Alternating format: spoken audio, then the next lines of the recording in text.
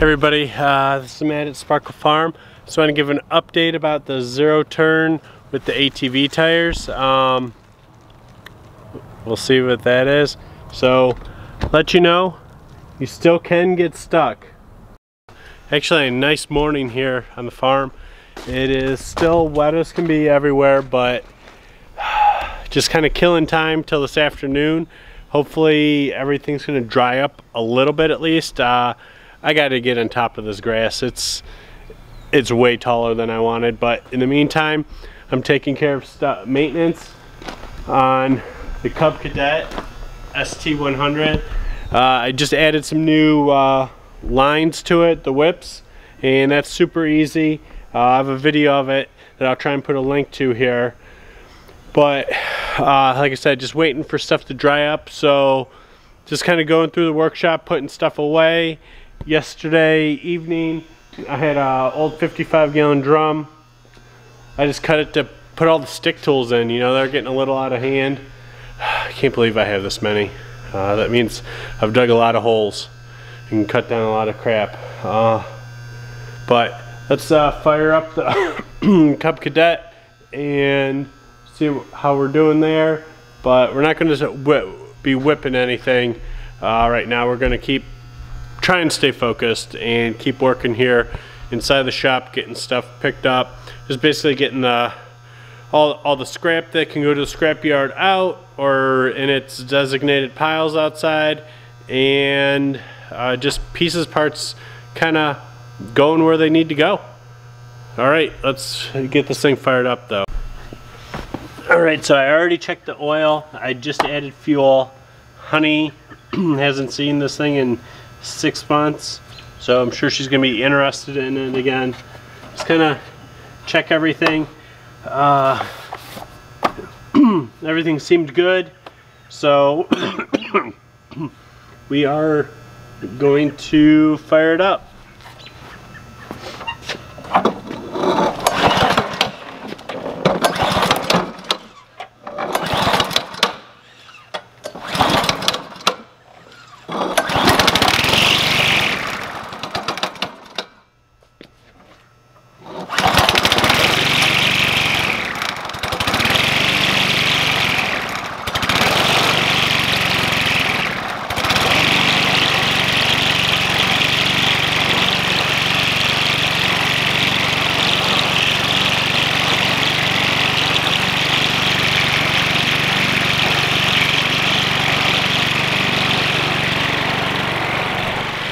So it must have just had some bad fuel in it. Like I said, I haven't done anything with it in at least six months. So pretty happy. It's just what, five, four or five pulls. So um, yeah, it's just gonna be generic maintenance on this for the rest of the summer. All right, let's go give it a quick test, let it warm up, but uh, we'll get back here in the shop.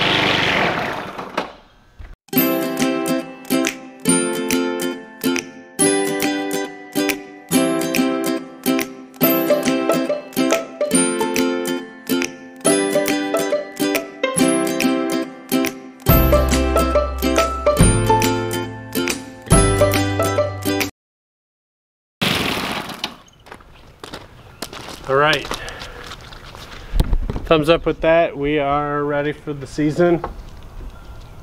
I did that area because over the winter, for some reason I was throwing random scrap there and I don't want to hit something with the big mower and wreck the blades at the beginning of the season. So, all right, let's get back in the workshop. Let's stay focused.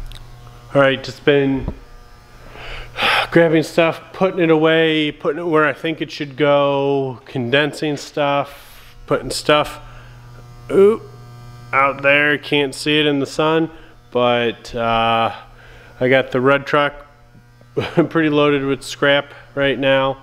Uh, needed all of it for some reason or another, but right now, since I'm slowly getting to this area, uh, we're going to be firing up the Ferris today but I, excuse me, I winterized it.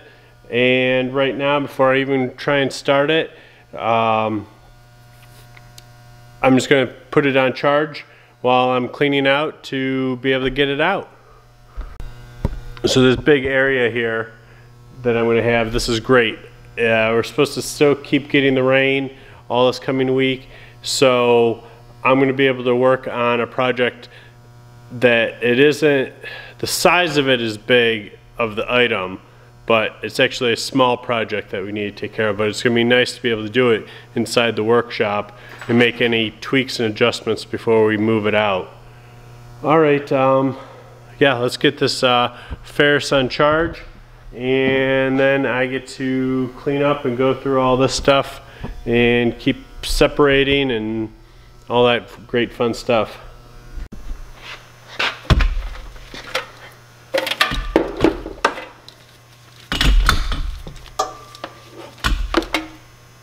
This is kind of nice.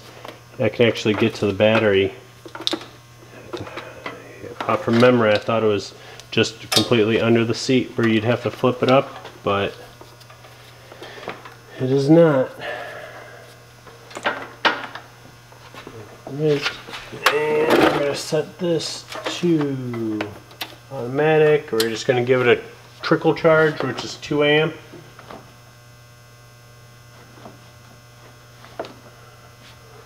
Let me go try another outlet. That I might have that one off at the breaker.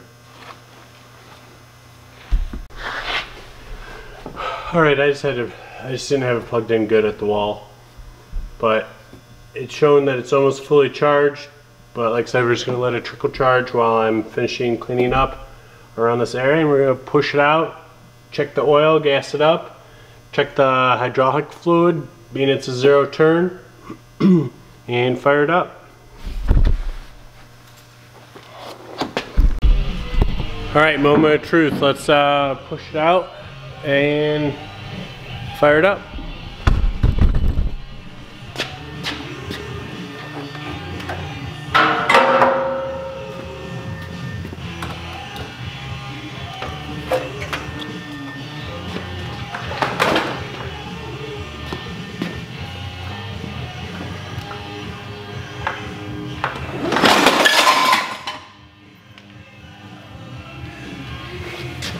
About I clean that up first? All right, so I have to actually crawl in here, fire this thing up, move it.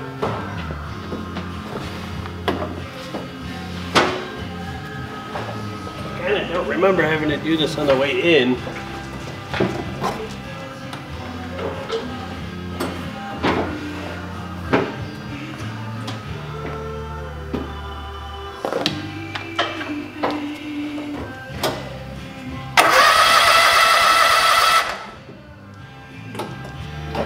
Chokes on, throttles up, let's fire it up.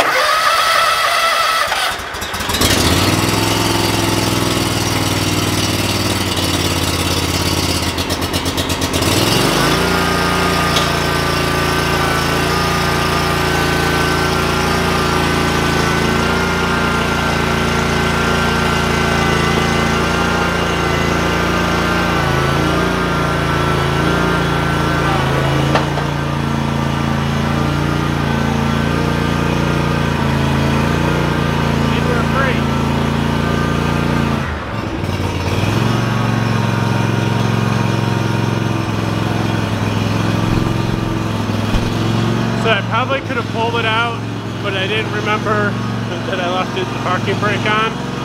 So I was luckily able to crawl in there, but let's get this thing out and before it warms up and check all the fluids.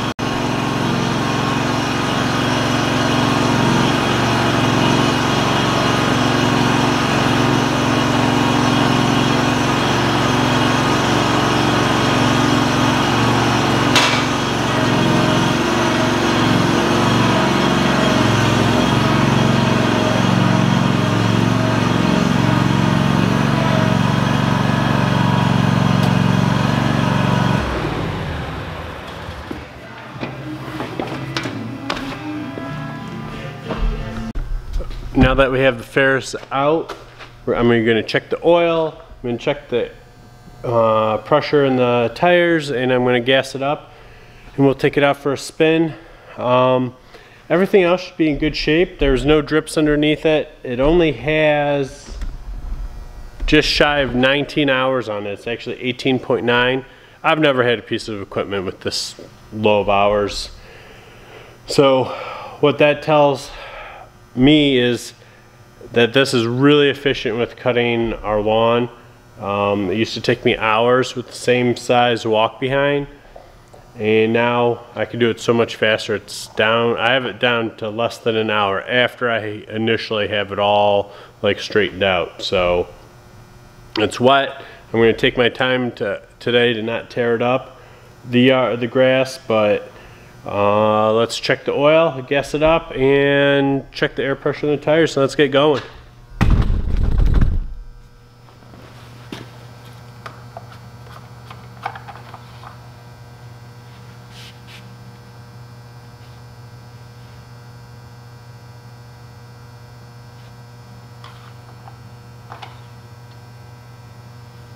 Oil's, oil's good, oil's clean.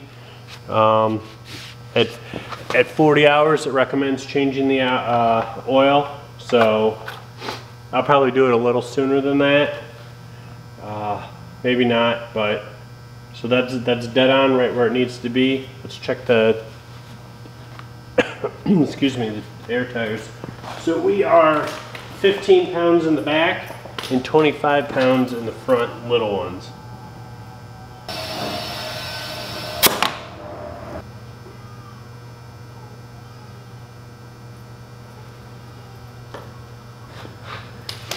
I guess that's why a lot of guys run the no flats on the front.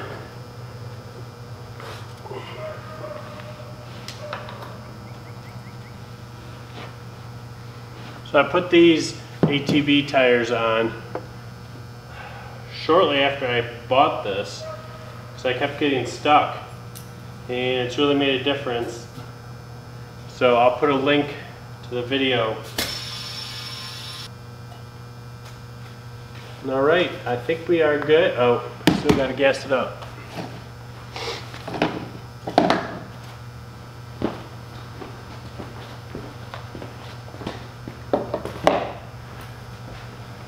I'd say in the last couple years I've been I've changed which type of fuel I've I'm adding to my uh, machines. Um, for how much I really use the machine versus how much it really costs to make any kind of repairs and how smooth it runs. I've actually, I buy premium fuel now. Uh, it's just with all the ethanol that they add, I just feel uh, you just don't the, the things just don't run right. And this is a more than a couple thousand dollar machine. So I, I don't even know how much this motor would cost to replace it. So I feel I'm just better off spending the couple extra bucks. Um, you know, it's really, you know, five gallons and it's maybe 50 cents more. So it's 250 more for five gallons of gas to save me some headache down the road or postpone it for a long time, I, I think it's worth it. Well, it's worth it to me anyway. So, and I still run all my fuel through stuff. Um, yeah, I kind of think that there's just some junk fuel uh, in Ohio. Uh, I, I'm not 100% sure, but I don't think it's actually regulated to the way other states do. So um, I'm just hedging my bet.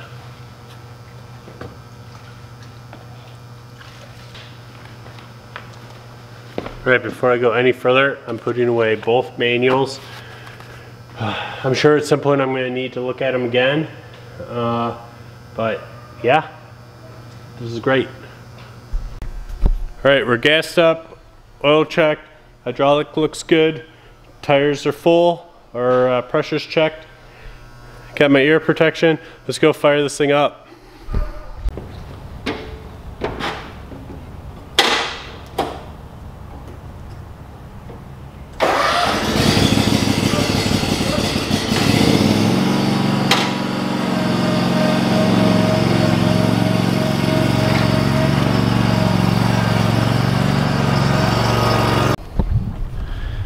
All right, so grass is actually crazy tall.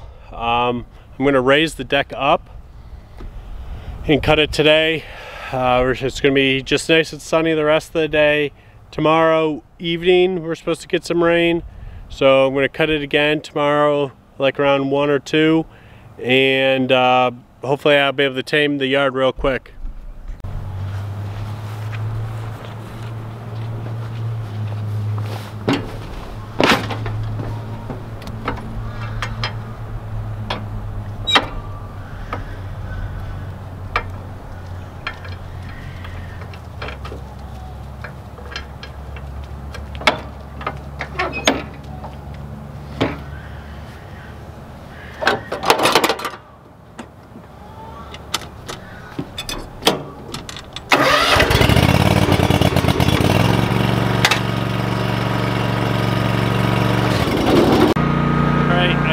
couple quick laps. Uh, definitely going to be making tracks in the yard. We're to grab the key and move the truck off the grass so I can cut under there. But I actually dropped the deck to where I want it um, because it's cutting so good. So I want to give an update about the zero turn with the ATV tires. Um, we'll see what that is. So let you know, you still can get stuck. Don't think he can't. Um, the problem is the machine weighs like a thousand pounds and as soon as you bottom out with your mower deck, you, you just turn into a bulldozer. Uh, so yeah, it's gonna hook it up to the Ford here and lift it out. Oops.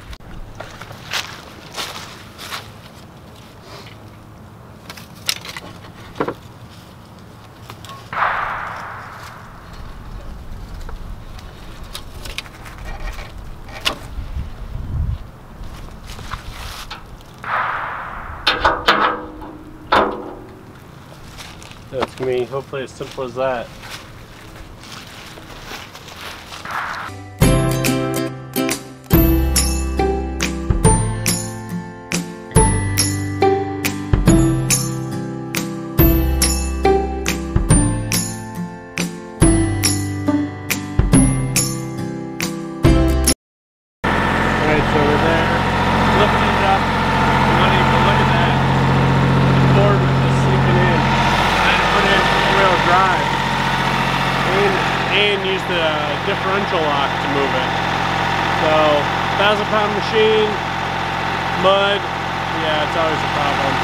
See if we can get it out on its own power now.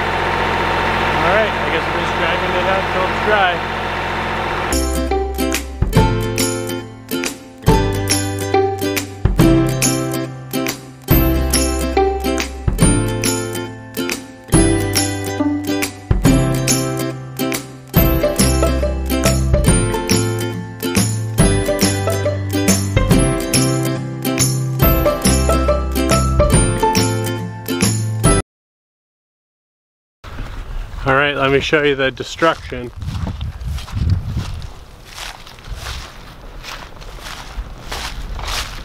So that was a good 25, 30 feet I had to drag this out of. So, yeah, there's gonna be a lot of cleaning. Ford did his job again. Uh, you know, I just have the lawn tires on now. I think if I had the crossbar, it would have been first shot, no problem. But just as a reminder for everybody, there's always pressure on your uh, zero turn transmissions. That's why you just can't push them. So that's why I lifted it up before I drug it out. Uh, all right, let's drop it down and uh, get us out of here. All right, so that's going to scrap tomorrow. We got the yard all straightened up. I cut as much as I could uh, with only getting stuck really good where I had to get the Ford out and lift up the zero turn twice. That's the bad area over there that it's just there used to be a paddock for a horse barn and that's that pile right there that's the last of it so uh, yeah so I'm wet muddy covered in grass. Uh, I'm gonna call it a day. All right thanks everybody for tuning in. Uh, hit subscribe if you want and there's gonna be more uh, monkey business here on Sparkle Farm coming up